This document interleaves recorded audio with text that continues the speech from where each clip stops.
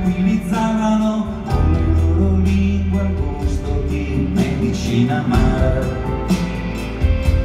e chiodi di garofano.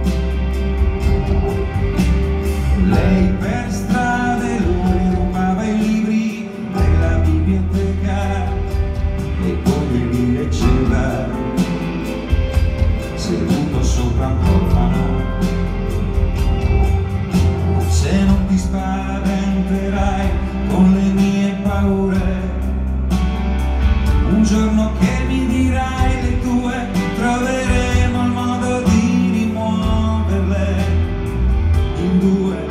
Può lottare come dei giganti contro ogni dolore.